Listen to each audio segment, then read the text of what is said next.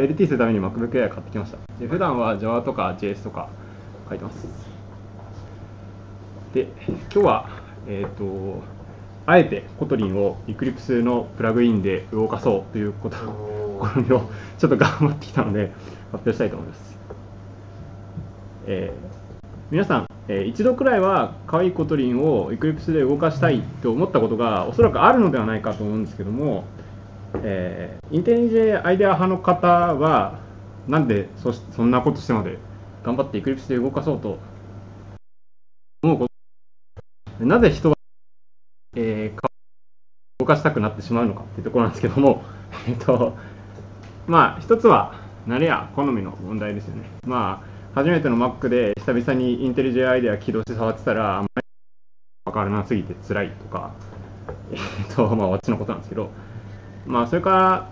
社内の政治的問題に対する、まあ、一つの解決策になるかもしれないです。まあ、 Kotlin を仕事で使いたいということもあるかもしれない。でもうちはみんな Eclipse しか使ってない。えー、 IntelliJ IDEA の学習コストがといったところとかも解決できるかもしれない。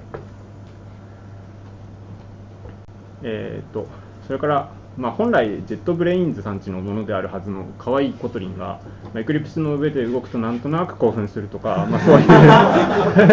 まあ、ワクワク感みたいな、ちょっとプライスレス的な、まあ、やつが、まあ、あるかなと思います。ただ、まだ、あ、すごい見づらいですね。すみません。えー、っと、えー、皆さん、 Eclipse で動かしたいと一度でも思った方は、ちょっとがっくりしたと思うんですけど、 IntelliJの方のプラグイン Available と書いてある下に、えー、Eclipse Coming Soon って来て、いつまでたっても提供されないじゃないかと。まあ、開発中のものが GitHub にあるので、まあ、それを動かしてみました。えっ、ー、と、 Kotlin の K は Kepler の K だと思ってたんですけど、最近 Luna が発表されまして、こっちでも動くので、K だか L だか分かんなくなってたんですけど、えっ、ー、と、Eclipse SDK こいつにインストールしておいてください。で git クローンして、えー、リードミーンにある手順通りに、まあ、プロジェクトのインポートと、すると動けません。でまあいろいろちょっと調べてみたんですけどまあなんか一緒に起動してるプラグインがどうも足りないっていうことみたいなんで、えー、まあ面倒くさいんでちょっと全部突っ込んで起動しました。動きました。よかったで、早速試してみました。まあ、最初は Hello World で、 Kotlin はなぜか Java プロジェクトで作るみたいなんですけども、えーと、新規作成というのが追加されてまして、えーと、 Kotlin アプリケーションで実行すると、こんな感じ動くというところですね。で、いろいろ試してみて、 Kotlin プラグインで、まあ、何ができるのかっていったところをまとめましたと。まず、まあえーまあ、基本的なところでコード補完っていったところですね。で、えー、 Kotlin の、えー、 Kotlin Eclipse のコード補完なんですけども、えー、標準ライブラリは普通に補完できます。あと、今書いてるファイルと同じ補完できるんですけども、あの別のパッケージにあるものが自分でインポート文書かないと補完できないっていうことすごく辛いのがあってちょっとちょっとやっぱまだまだだなっていうところですね。あと意外とアウトライン表示がしっかりしている。まあアウトライン表示って IntelliJ IDEA で言った頃のストラクチャーのところなんですけどもアウトライン表示はまともに動きますととまあコードテンプレートとかですね、えー、とメインがえー、補完できると。ただ、 Luna では動かないので、やっぱケプラーの K はコトリの K なんじゃないかなってことですね。あとは、まあ、ちょっとまだできないで、ちょっと辛いなっていうところが、リファクタリング機能ができないのもちょっとどうしようもない感じですね。まあ、ここら辺はまあ開発中なんで今後に期待ってところですね。まあ、あと色分けとか、コードフォーマットがインデント揃えるのしかできないってところで、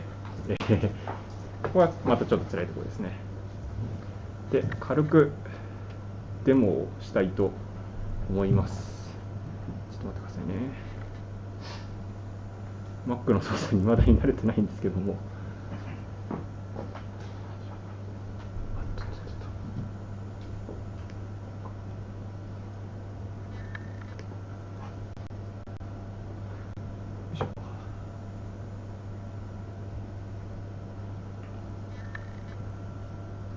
今はルナで動かしていますが、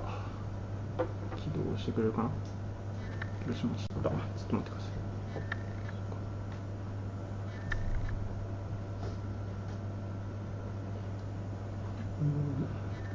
うん、まだ遅いところがありますね。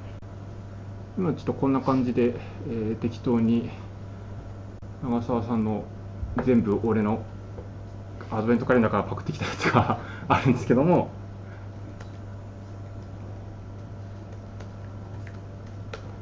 こんな感じでコード保管は遅いんですけど、出ますと。ああ、ああ、ごめんなさい。ちょっと待ってください。クリエイターのメソッド保管するとなぜかメソッド名までしか保管してくれないっていう謎の仕様があるんですがでこいつで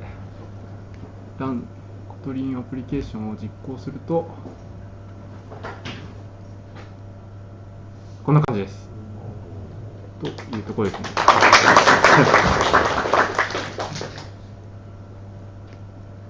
で戻りますKotlin Eclipse プラグインまとめってところで、えー、っとまずはインテリエ JI では使いましょう。ま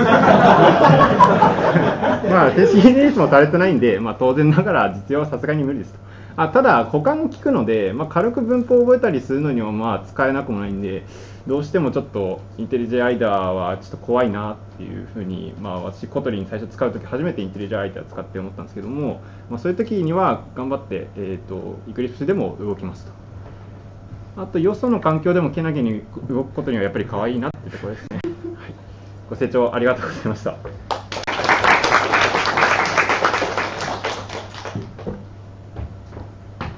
りがとうございます。じゃ質問2つくらい受け付けたいと思います。質問ある方いらっしゃいますか？ネットビーンズのプラグインはありますか？ネットビーンズのプラグインはちょっと検索してたことないです。すいません。ググります。他にいらっしゃいますか？あ、いないようなので、ありがとうございました。ありがとうございました。